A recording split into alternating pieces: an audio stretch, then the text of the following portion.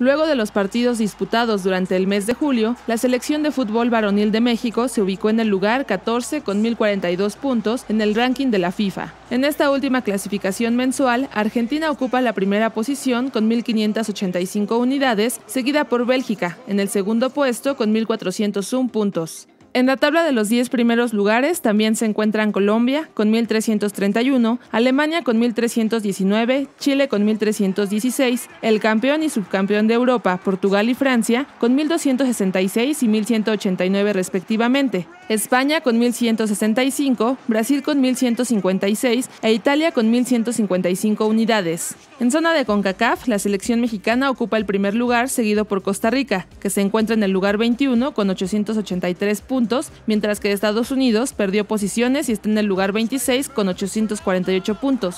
El próximo ranking de la FIFA se dará a conocer el 15 de septiembre. Notimex.